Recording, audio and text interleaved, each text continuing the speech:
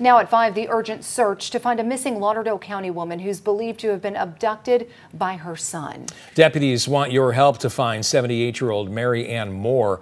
WAAY 31's Jillian Kay met with a chief investigator who says they are receiving tips that they, the two might have been seen on the side of the road in the Lexington area. Jillian, what have you learned? One reason investigators are so concerned is because of her son Christopher's criminal past, which includes drug arrests and recent erratic behavior.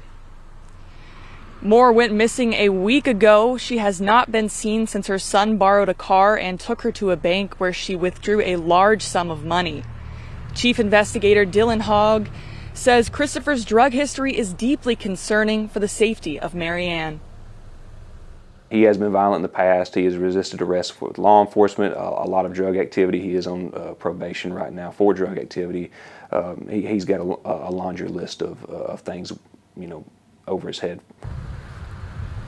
The investigators tell me that Christopher Moore may be manipulating his mother and that he may be taking her on drug runs with him.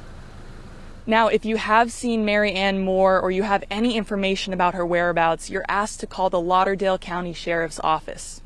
Live in Lexington, Jillian Kay, WAAY 31 News.